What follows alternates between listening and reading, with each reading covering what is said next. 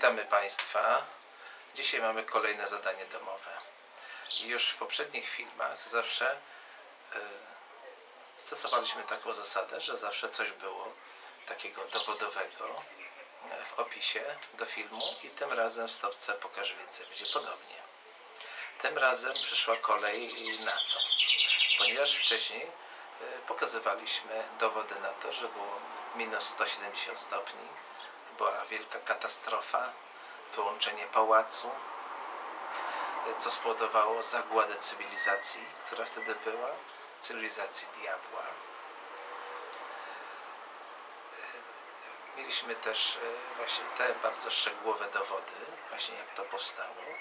Mieliśmy e, też dowody właśnie dlaczego było zlodowacenie i tak dalej. E, No i teraz przyszła jakby kolej na to, żeby pokazać Państwu, no, jakie są dowody tych ukryć. Ponieważ no, w iluś tam filmach wcześniej, jeszcze nawet w zeszłym roku, mówiłem, że mm, ci wierni Bogu, oni się schowali do podziemi, do podziemnych jaskiń e, albo właśnie jakichś takich e, ukryć.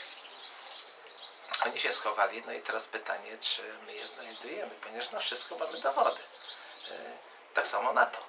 Ale te poprzednie po dowody to jak najbardziej e, pokazują na to, że takie coś miało miejsce. A teraz będziemy mieli dzisiaj dowody tego, e, jak one wyglądały, gdzie one się znajdowały z reguły, no i jak to mniej więcej wyglądało. I mamy tutaj przykłady tak. e, W poprzednich filmach, a niektórzy z Państwa też linkowali, to jest takie podziemne miasta w Kapadocji, w Turcji.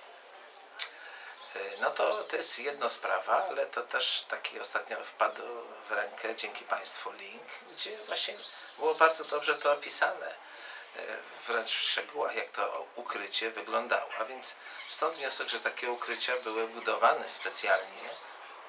One nie były jakimiś przypadkowymi jaskiniami, gdzie tam wchodziło się, tylko zostały one budowane.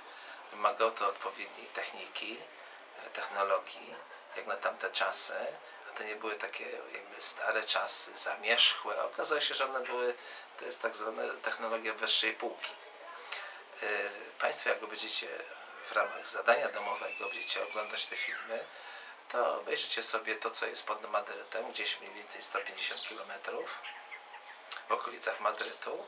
Przeniesiemy się później e, spod tego Madrytu e, do Chin wschodnich i też obejrzymy takie coś. E, Zobacz, cały, cały kompleks właśnie takich ukryć. E, Mało tego, jeszcze dojdziemy do Pomorza Zachodniego w Polsce. Przeniesiemy się, no i oczywiście zalinkujemy ten stary, e, bardzo ciekawy link z Kapadocji, gdzie właśnie mamy te ukrycia, jak one były robione i tak dalej. Widzimy, no i oczywiście to jest, co jest najważniejsze w tym wszystkim, to, że zadaje się masę pytań, są różne hipotezy na ten temat, ale wbrew pozorom, jak się zna niebocentryzm, całą tą historię, to tak zwane historię strategiczną, czyli wyłączenie pałacy i konsekwencje i tak dalej, to wszystko, e, to po prostu jest inna para kaloszy. E, W tych filmach będziecie słyszeć też o gigantach, ponieważ to jest e, jak w przekazach ludów e, całej Ziemi. Nie? No i oczywiście mieliśmy z kamieni lin, liny gigantów, mieliśmy linki, też Państwo oglądali, wszystko to było. No to teraz czas na właśnie te ukrycia. Ale co ciekawe, ja tam akurat w tym kompleksie, który jest 150 km na północny wschód czy zachód e, od Madrytu, to, dowie, y, to była taka, taka ciekawostka, taka ciekawa wzmianka, że były otwory wentylacyjne, które miały stopnie wykute w skale, ale po co stopnie? Właśnie, dlaczego otwór wentylacyjny musi mieć stopnie? Nie? Słuchajcie, w końcu trzeba było sprawdzić, kiedy są na zewnątrz warunki. Jak było minus 170, no to już wiadomo, do jakiejś tam e, minimalnej, e, jakiejś małej głębokości te, ten mróz się czuło. Oczywiście stopniowo, powiedzmy, nie 100, od razu 170, tylko wiadomo, to się w jakiś sposób wyczuwało. A więc, żeby można było wejść, to trzeba było po prostu sprawdzić, co jest na zewnątrz. I no właśnie te e, elementy tych stopni, to właśnie polegały na tym, że w tym otworze wentylacyjnym, gdzie dochodziło powietrze, no to były stopnie wykute po to, żeby po prostu sprawdzić, ile jest. Ile, e, ile jest na zewnątrz po prostu. Czy można wyjść, czy jeszcze można wyjść, czy jeszcze siedzimy. A więc proszę zwrócić uwagę, ile, jaki to był y, raz, że powiedzmy takie coś trzeba było zbudować, a więc trzeba było tak, a więc musiała być instrukcja tego, jak to zbudować. To jest raz, taką podziemną arkę, no powiedzmy tak to możemy znaleźć, to jest podziemna arka, mało tego. Poza tym ci, którzy tam wchodzili, to musieli mieć pełną świadomość tego, po co tam wchodzą. To nie sobie tak nie ale mamy odpowiedzi na te pytania dzięki niepocentryzmowi i tej właśnie tak zwanej historii strategicznej. A Dlaczego to się nazywa historia strategiczna? Otóż dlatego, ponieważ wtedy to był akt sprawiedliwości Bożej. Wierni wchodzą, dostają instrukcje, przygotowują się, wchodzą. Ojciec włącza pałacz i wszystko to, co y,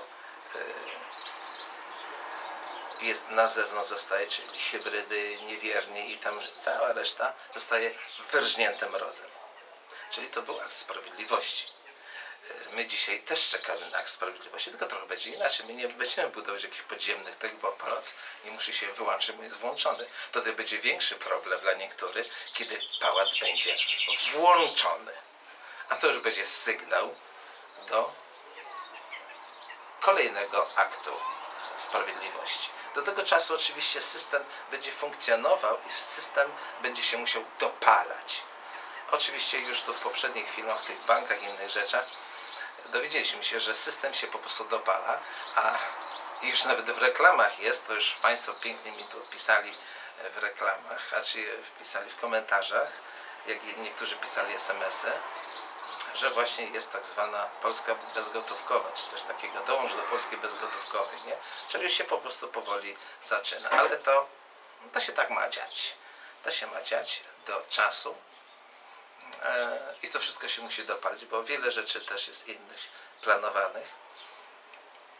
A więc to musi się zrealizować. Na razie e, powiedzmy jest tak zwana cisza przed burzą.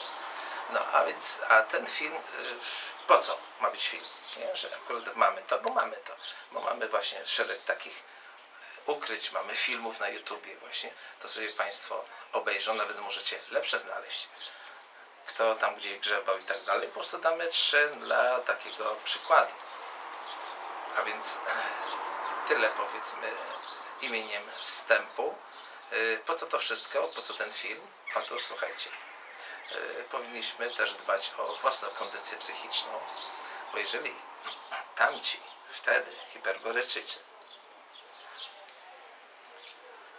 nasi dalecy praojcowie weszli do tych ukryć, to oni musieli mieć nie lada wiarę i nie lada po prostu zdecydowanie, że y, i zaufanie do tego, który mieszka w diam- diamentowym pałacu, że on to zło, które wtedy panoszyło się przy pomocy różnej, y, różnego rodzaju hybryd, mniejszych, większych, półtora kilometrowych i tak dalej, i tak dalej, on, on to wszystko zlikwiduje tak.